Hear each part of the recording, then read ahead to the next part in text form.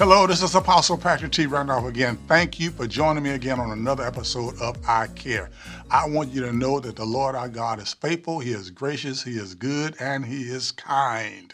And I want you to also know that the word of the Lord is forever. It cannot and shall not change. Nothing can change the word of God.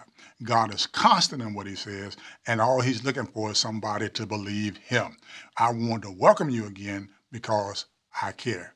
But I want you to know also that God cares for you as well. Now, when it comes to living in the body of Christ, it comes to living in the kingdom of God. One of the most important aspects of it, again, is the living word of God. Now, listen to me. I want to say this to you the living word of God. You know, the word of God is alive. The word of God is truly alive. The word is a living word.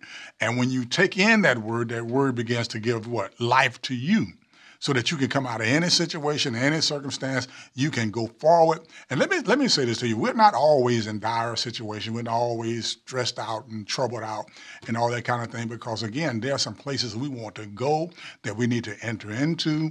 That the only way we're going to get there is by the word of God. Now, remember again that man shall not live by bread alone, but by every, how many? Every word that proceedeth out of the mouth of God. So that means, as a believer, as a child of God, I must take in the Word of God to the point where it is it, it is causing me to excel. It's causing me to be propelled forward in life.